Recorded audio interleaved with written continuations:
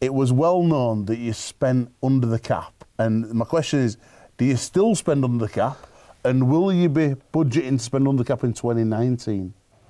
Well, we do spend. we do still spend under the cap. Uh, you know, I brought a, a, stat along today for you that we're we're currently 450 grand under the cap. That's so, unbelievable. Uh, you know, if if uh, if any club out there wants to give us their star half back for free, we've got plenty of room to.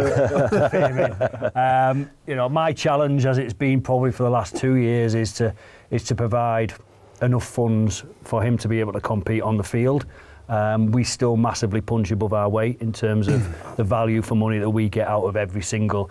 It's not just players. It's like what Jamie says. It's your staff. It's your it's your backroom staff. It's your it's your accounts person. It's it's everybody that we got in, involved in Wakefield Trinity.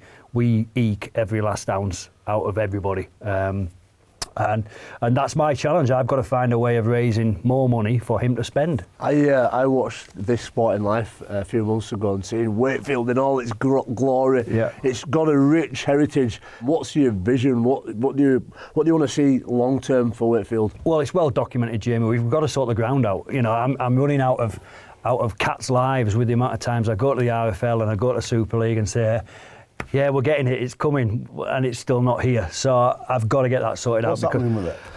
Is it going to happen? I, I, honestly don't know, mate. I, I, you know, I keep saying to him, unless we get this ground, the Super League are actually going to bang on my door, and it might be next month, it could be next year, it could be two years, and they're going to say, you're not in anymore because your facilities aren't good enough. And then where do we go? What happens to Wakefield Trinity? Because, like you say, there's 144, 145 years of heritage there yeah, with yeah. some of the most famous players in the world. The Neil, Neil Fox's record will never be beaten, yeah, and that that piece of grass is still being played on today. So, if we ever do move, I'm cutting it all up, painting a white line on it, and that's the last try Neil Fox ever scored. Thousand pound a square metre, and I'll raise some money that way.